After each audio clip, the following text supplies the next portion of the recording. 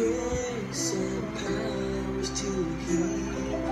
Few of them say, some say they